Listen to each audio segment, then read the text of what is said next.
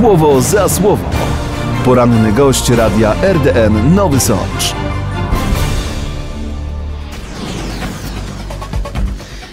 A poniedziałek witamy razem z wójtem gminy Podegrodzie. Stanisław Banach jest razem ze mną w studiu. Witam, dzień dobry. Dzień dobry, witam serdecznie panią redaktor, witam słuchaczy i oglądających. Mhm, Mamy nadzieję, że ten rok uda się rozpocząć także z nowym mostem, a właściwie z rozpoczęciem budowy nowego mostu. To byłoby coś naprawdę ważnego dla mieszkańców. Chodzi oczywiście o Brzeznę i potok em, Barciczanka, na którym taki most miałby się znajdować. E, Potok Brzeźnianka. Brzeźnianka. Potok Brzeźnianka. E, Tak, e, tak, to jest bardzo oczekiwana i potrzebna inwestycja. M, Dojazd do szkoły podstawowej, do hali sportowej, która no, jest największą na terenie gminy Podegrodzie. Prace już rozpoczęły się w ubiegłym roku, prace związane z kanalizacją, z wodociągiem.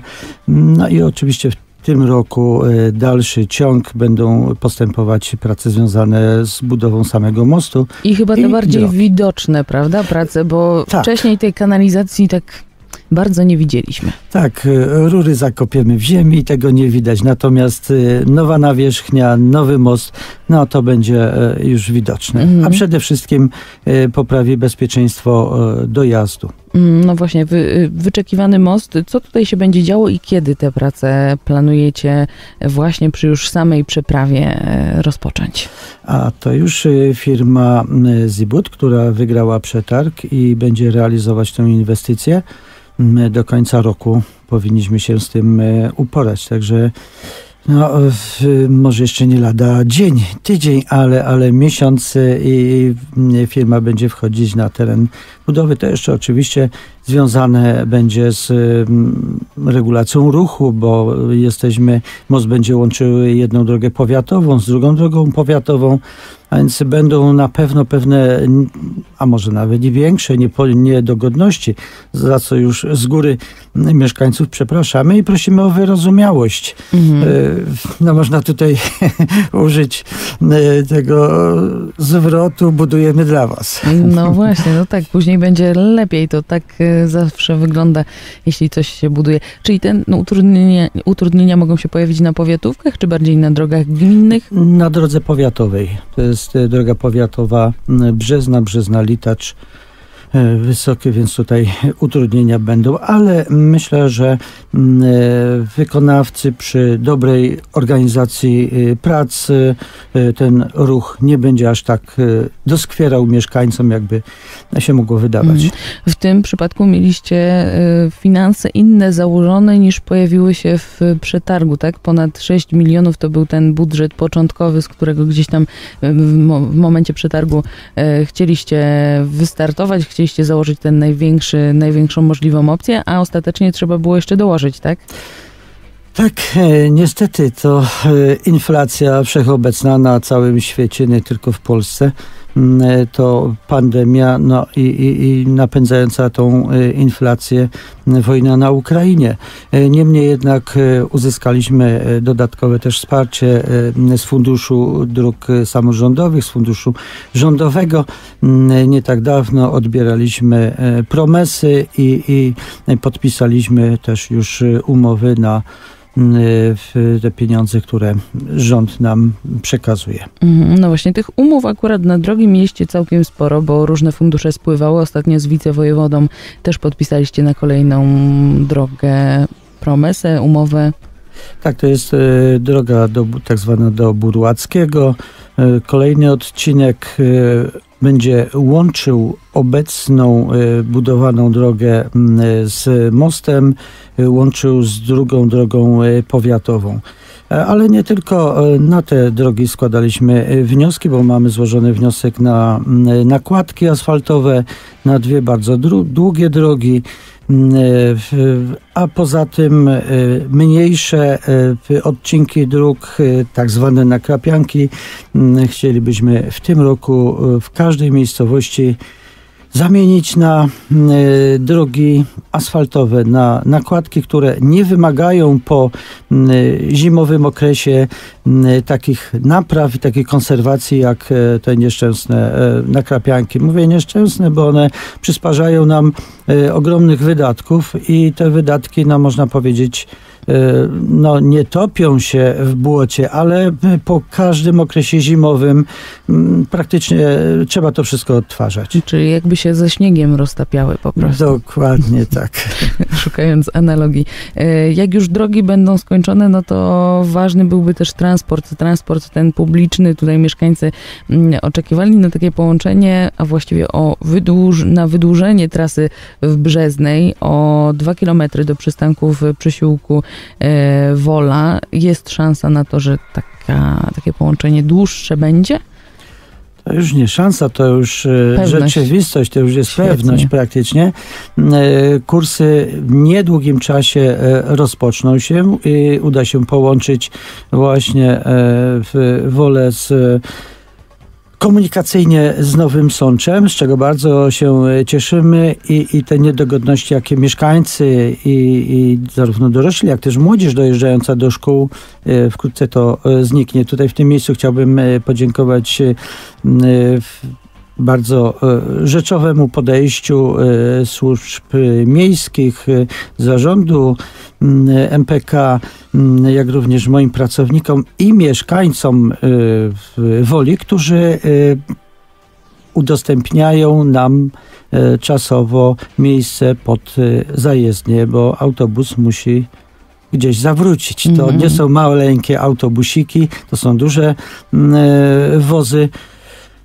I tutaj dziękuję. Z nazwiska nie wymieniam.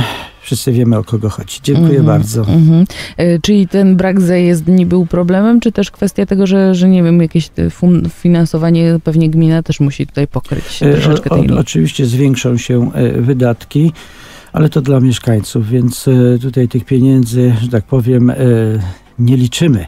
Mm, e, Natomiast, natomiast głównym problemem to była e, zajezdnia, żeby autobusy mogły e, zawracać. Mhm. Czyli dzięki tej decyzji tutaj będzie można jeździć. E, I kiedy te autobusy wrócą? Znaczy wrócą, będą po prostu jeździć na tej dłuższej trasie? A myślę, że przed świętami na pewno. Świetnie, no to myślę, że bardzo dobra wiadomość dla mieszkańców. E, Temat szkół. Tutaj bardzo ważna inwestycja w Stadłach się szykuje. Ogłoszony został przetarg na, e, no właśnie na co dokładnie? E, W Stadach mamy funkcjonującą do tej pory odnawianą, remontowaną szkółkę poniemiecką. To jest budynek poniemiecki z 1893 roku. Kadrę mamy wspaniałą, dzieci mamy super, ale możliwości lokalowe no, nie przystają do obecnych czasów. Dlatego też podjęliśmy decyzję o rozbudowie szkoły. Przetarg jest ogłoszony na e, rozbudowę szkoły wraz z salą gimnastyczną. A w ostatnim e, o zakresie będzie remontowany obecny budynek, który w dalszym ciągu będzie służył. Mhm, czyli sala gimnastyczna, której nie było, będzie potrzebna też miesz- mieszkańcom, będzie dzieciom potrzebna przede Tak, nie, wszystkim. nie, nie, nie wyobrażam sobie dzisiaj prowadzenia zajęć w normalnej szkole bez sali gimnastycznej, ale oprócz sali gimnastycznej będą też e, obiekty e, na wolnym powietrzu, które będą służyć zarówno sale, jak i te obiekty mieszkańcom. Mhm. A, a wiemy, że potrzeby na sport, na ruch są ogromne. Jeśli uda się rozstrzygnąć przetarg, e, to kiedy takie prace w tym roku już ruszą, z- będą zakończone? Czy jest taka szansa w ogóle? Gdyby mm, em, wszystkie z czynności związane, zabiegi z mm, przetargiem, e, z, po ogłoszeniu nie było żadnych e, problemów, to w tym roku powinniśmy w stanie surowym budynki Oddać, tak? No tak, to, to wybudować wraz z salą gimnastyczną. Mamy na ten cel, na ten rok e, 10 milionów e, z Polskiego Ładu plus mm, jeszcze wkład e, z gminy. Mhm, No to duża, duża suma, która na pewno tutaj będzie mogła jakoś zadziałać. W Olszanie też jest projekt już gotowy na salę, ale sali jeszcze nie ma. E, To jest Olszanka. Olszanka, w Olszance, w Olszance. tak, oczywiście. Też projekt e, jest e, praktycznie już gotowy. Jeszcze projektant kilka rzeczy tam musi uzyskać, między innymi pewne odstępstwo z ministerstwa, ale wszystko jest na dobrej drodze i w, marcu czekamy teraz tylko na ogłoszenie naboru na sale gimnastyczne z Ministerstwa Sportu. No i też myślę, że to będzie e, kwestia czasu. Mhm. I podobna suma, tak? Y, Pewnie, jeśli E, chodzi o w tym przypadku? Tak, no, e, to są kosztowne, to są kosztowne rzeczy, ale, ale potrzebne. Potrzebne, bo w m, Olszance od e, lat e, funkcjonuje również szkoła podstawowa, e, bardzo ładna szkoła, z znakomitą kadrą, w pięknym miejscu, m, niegdyś wykorzystywana również w okresie feryjnym, wakacyjnym dla grup m, turystycznych, dzieci, młodzieży. Chcielibyśmy, żeby Sala, salka gimnastyczna również zafunkcjonowała w tej miejscowości. Mhm. W Mokrej Wsi też planujecie podobne inwestycje? To chyba już jest y, pieśń przyszłości. E, Nie tak odległej przyszłości. M, e, Też staramy się, żeby ta szkółka się powiększyła, żeby dzieci mogły na miejscu korzystać e, z dobrodziejstwa e, nauki szkolnej. Mhm. Czyli kwestia też y, rozbudowy o klasy, czy tylko tę salę gimnastyczną? Na razie o klasy, ale myślimy na Mokrej Wsi o czymś więcej. Patrzymy w przyszłość, która nas czeka za 5, za 10, za 20 lat, żeby mieszkańcy mieli i dzieci, żeby miały dogodne warunki do nauki. Mhm. Wiem, że macie jeszcze dużo różnych projektów, y, wniosków, choćby tych termomodernizacyjnych, plany na Brzezną, na y, też Mokrą Wieś OSP. Tutaj co by się miało zmieniać? Y, OSP w Mokrej Wsi złożony jest wniosek o docieplenie do Urzędu Marszałkowskiego, natomiast złożyliśmy również wniosek o docieplenie byłego budynku, y, obecnego budynku, ale byłej szkoły podstawowej, gdzie obecnie mieści się przedszkole i żłobek. Mhm. Y, Wymaga, wymaga to wykonania tych prac y, z racji tej, że w, jeszcze w tym roku mm, y, ten budynek zostanie podłączony do instalacji gazowej, a więc oszczędności tutaj są bardzo oczekiwane. No właśnie, tych oszczędności chyba wszędzie trzeba szukać, ale na koniec jeszcze zostawiłam sobie kaplicę świętej Anny, bo to jest miejsce, które chyba jest szczególne na mapie gminy i e, dostaliście fundusze, ale póki co chyba tylko na projekt, tak? A prace są znacznie, znacznie większe potrzebne. Y, Tak, otrzymaliśmy 70 tysięcy y, dofinansowania z Urzędu Marszałkowskiego.